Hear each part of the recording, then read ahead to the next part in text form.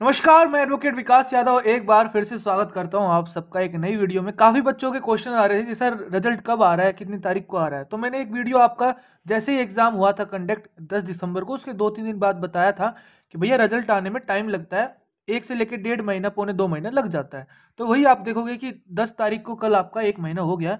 तो अब आपके आने वाले हफ्तों में रिज़ल्ट आने की पूरी संभावना है, आने वाले एक दो हफ्तों में। थोड़ा सा हम लेटेस्ट अपडेट देख लेते हैं एक बार आप। जैसे ही आप गूगल पे आप डालोगे A I B eighteen result date ठीक है? जैसे आप ये डालोगे तो उसके अंदर आप देखोगे कि आपको पूरा एक आर्टिकल दिखेंगे। अगर हम न्यूज़ की बात करें, अगर हम थोड़ा प्रीवियस रिकॉर्ड देखें इसका रिज़ल्ट के रिगार्डिंग तो आप देखोगे कि पहले तीन हफ़्ते पहले आपका टाइम्स नाउ ने कुछ बताया था कि रिज़ल्ट आपका कब तक आएगा, ठीक है?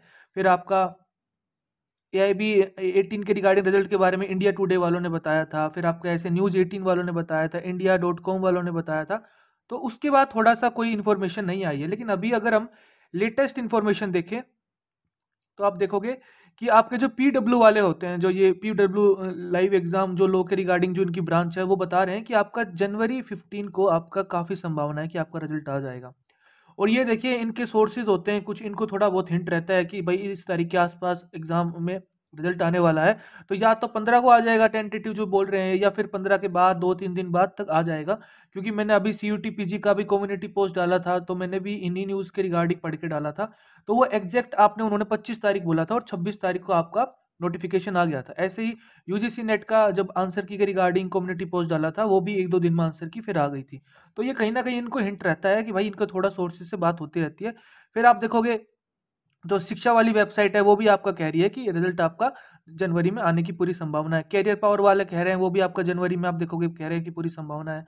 उसके बाद फिर आप देखोगे कि जो बिहार हेल्प करके एक वेबसाइट है, वो भी आपका बता रहे हैं कि रिज़ल्ट आपका पंद्रह जनवरी को आ जाएगा, ठीक है? ऐसे ही career sixty career three sixty की बात करें तो वो भी आपका बोल रहे हैं कि रिज़ल्ट आपका पंद्रह जनवरी के आसपास आ जाएगा।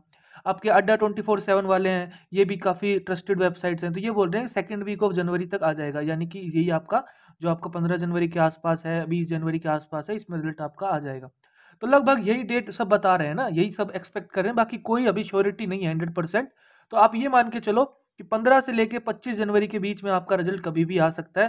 थोड़ा सा वेबसाइट के टच में रहो, क्योंकि उससे पहले आपका रिवाइज आंसर किया आएगा और उसके फिर कुछ एक हफ़्ते बाद या फिर दो तीन दिन बाद आपका रिज़ल्ट फाइनली आ जाएगा, डिक्लेयर कर दिया जाएगा। इसीलिए ज़्यादा इसमें पैनिक होने की कोई दिक्कत नहीं है। जैसे ही रिज़ल्ट आएगा, मैं आपको अपडेट कर दूँगा, ठीक है? वीडियो अच्छा लगा तो वीडियो को लाइक करिए, खुश रहिए, मुस्कुराते रहिए, देश का ख्याल रखिए, जय हिंद।